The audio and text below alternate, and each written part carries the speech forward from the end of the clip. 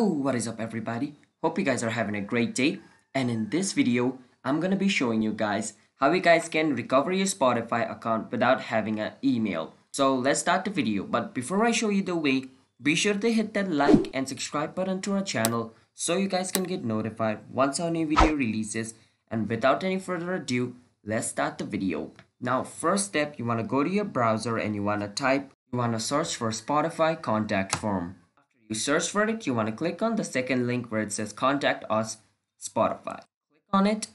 Now once you're over here, you want to scroll down and click on where it says go to contact form which is on message us part of this website. You want to click on go to contact form and it's gonna ask you to log in into your Spotify account. But since you don't have access to your email and you forgot your password, you wanna click on where it says forgot your password. Now it's gonna take you to this website, but since you don't have access to your email, you cannot change the password doing this. So you wanna click on Spotify support and it's gonna take you to another page. Now once you're over here, you wanna click on where it says logging in and click on where it says I can't log in into Spotify.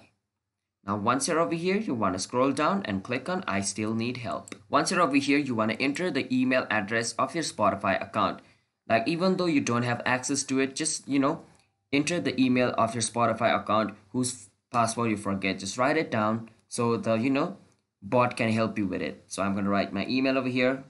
You enter your email and click on start chat. Spotify's bot is going to start over here just like this. So now what you want to do is write your problem over here saying you can write this I forgot my password of my Spotify account and I don't have access to the email as well. Can you help me change my email? Wait for the bot to reply. Once this thing opens up, we want to click on where it says can't log in.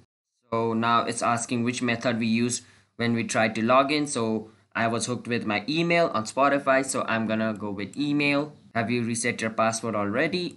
No. And you want to click on no because it says go to password reset and enter the email and click send.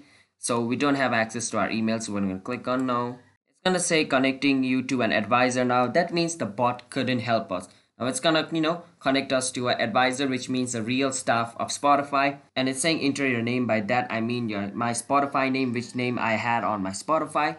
And after typing the name, it's gonna connect me to an advisor, which can take about a minute or two. And after that, the advisor of Spotify will help me, you know, change my email on my Spotify after you connect with your advisor you can talk with them because they're real humans. You can chat with them and they'll help you with it and provide them any necessary information they require right if you don't provide any information they require then you might not get your account back. So just keep that in mind. They're going to ask you for some kind of information about your spotify account so provide them.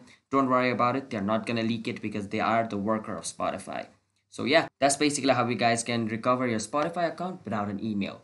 So if you guys found this video helpful, then be sure to hit that like and subscribe button with notification on so you guys can get notified for a future video and I'll see you guys in my next video. Until then, bye bye and have a nice day.